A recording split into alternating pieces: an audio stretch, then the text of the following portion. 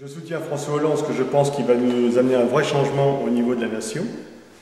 Des choses très intéressantes, notamment au niveau de suppression des cumuls des mandats. Une prise en compte des communes euh, plus intéressante qu'aujourd'hui, puisque nous supprimons beaucoup de services publics, notamment à la poste, que nous forçons d'assumer au niveau des communes rurales.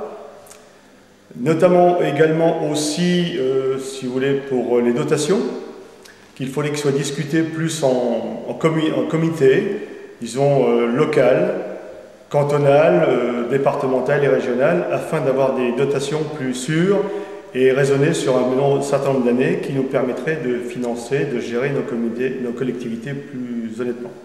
Je m'engage à soutenir Claude Roiron euh, au sein de sa campagne législative. Philippe Briand, depuis un certain nombre d'années, mène notre circonscription.